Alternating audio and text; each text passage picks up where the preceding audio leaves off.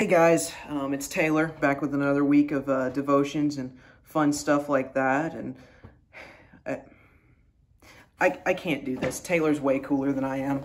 It's just, it's not going to work.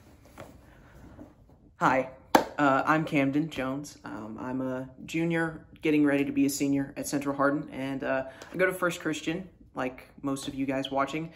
And um, I am going to be doing our devotion for this week. And I'm really excited because this week we're talking about something that's somewhat personal to me. Um, and it's really cool how much God's affected my life in this way. Um, so, for the past couple of weeks, uh, we've been talking about this theme of hope. Hope is a beautiful, God given thing that we all get to enjoy, especially now.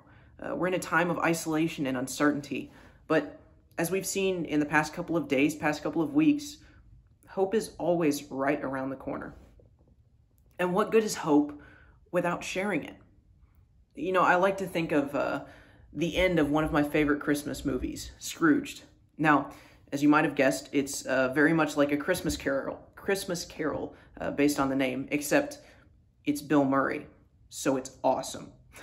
Towards the end of the movie, Bill Murray's character, Frank Cross, uh, runs onto the set of his network's live performance of A Christmas Carol and delivers a speech. You see, throughout the entire movie, Frank Cross had been a heartless, mean man. But now, he finally knows the true meaning of Christmas and can't wait to share it with the world. Now, he goes on live television and spreads the joy that he's found, and the whole thing ends in an incredible rendition of Put a Little Love in Your Heart by Jackie DeShannon.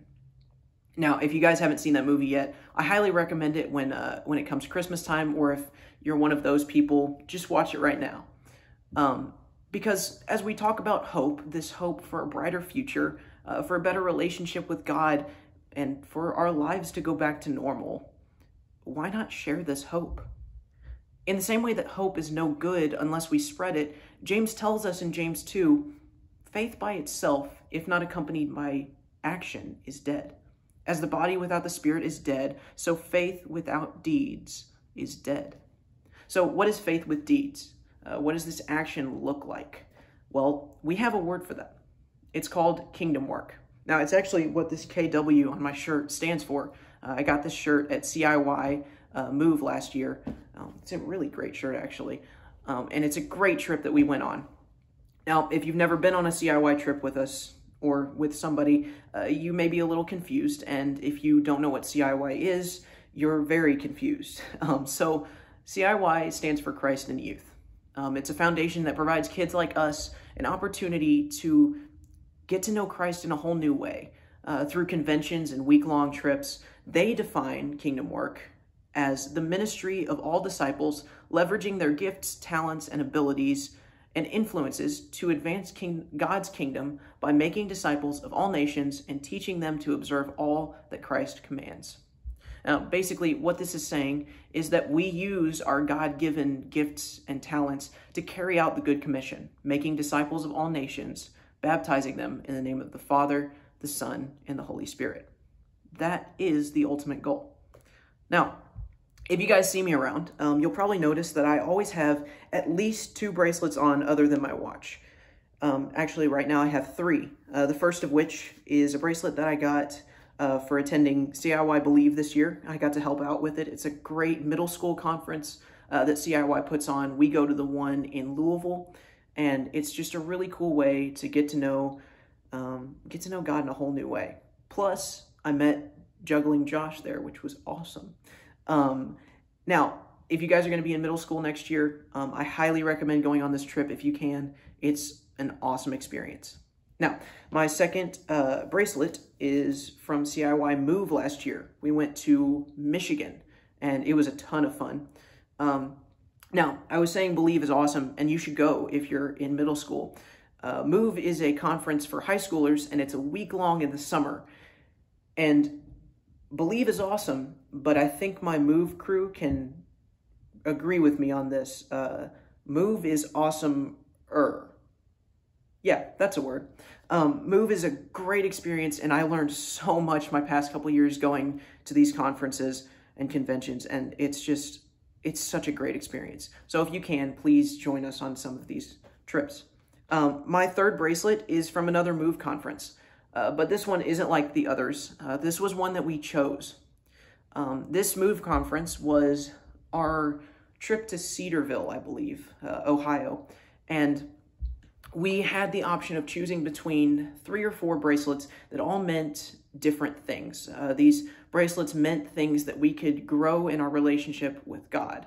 Uh, I chose the one that said reach because I felt I needed to grow with God in this area.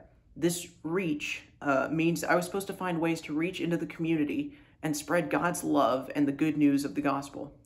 So I started to pray about what I should do because I didn't really know what that meant for me. I prayed and I prayed until finally I got an answer. And my answer was a weird one. It wasn't a specific assessment or assignment, uh, no big organizations to create, no huge plans right now, just help. That's what was put on my heart. Help in any way you can. So that's what I've done. I've helped around church, I've helped in sports teams, I've helped at school, I've helped my friends in any way possible. And that's what kingdom work is helping others and showing God's love to further the kingdom. Kingdom work can be anything you do in your area of influence you might have, uh, like school, sports, or even just hanging with your friends, that shows God's love and spreads the gospel. We've been talking on Sundays about how to bring joy to people and give them this hope that we have in this time. Uh, we've come up with anywhere from making cards uh, to driving by people's houses or even just talking to them on the phone. Kingdom work, kingdom work isn't flashy. It's not about taking credit. Kingdom work is about serving and living as Christ did to spread this hope and good news that we have.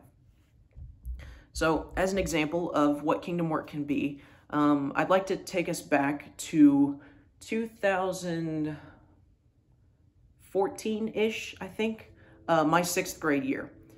Um, now, that was a weird time for me. Um, if you guys knew me back then, you know exactly what I'm talking about. Um, to put it short, I had some very interesting fashion decisions that I made. That's how we're going to say it. Um, I had like much, much more bracelets than I do now. I'll tell you that much. Um, and some incredibly long socks. Yeah, it, it was something else. Um, but along with that, I started to carpool uh, with, with a friend of mine to school. Now, my friend had not really been to church a whole lot throughout his life, and I knew he was a great guy, but I really wanted him to, you know, come and know Christ. Um, and so, just on a whim, or what I thought was on a whim, uh, I asked him to come to one of our fun nights at church. I think it was like a Wednesday night, and I think it was maybe dodgeball or an inflatable night or something fun like that. And so he came and he really had a ton of fun and he enjoyed it and told me he wanted to come back. And I was like, yeah, come back, please. Then I second guessed myself and I was like, wait, this, you realize that church isn't always like this. And he was like, yeah, sure. I, I want to come back. And so I, he came back with me and to my surprise, although it shouldn't have been, but I was young, um, he came back and he loved church. He loved coming and having conversations with people about life and just living and and experiencing life with a whole new community. And I I was too young and too I, I don't know, something to know this, but that was God working through me. That was God working through me in ways that I didn't even didn't even know were possible to get one of my closest friends to come to church with me. And now, almost seven years later, wow, um, he is heavily invested in our church, and you'll see him up on stage doing worship and having fun on Sunday nights. And that just goes to show you God's there for us. We're not alone in this struggle against our world. We're not alone in this struggle in our kingdom work. It doesn't have to be scary, not when you have the creator of everything helping you. So, this next week, as we go about our quarantined lives, let's try and find ways to spread the hope, spread the joy that we have, knowing God is in control. He's with us through all of this. There's no need to be afraid. To close us out, um, I, would like to pray a prayer that Paul wrote in prison. um, to the church in Ephesus. Would you pray with me? Pray also for me that whenever I speak, words may be given to me so that I will fearlessly make known the mystery of the gospel, for which I am the for which I am an ambassador in chains. Pray that I may declare it fearlessly as I should. Amen.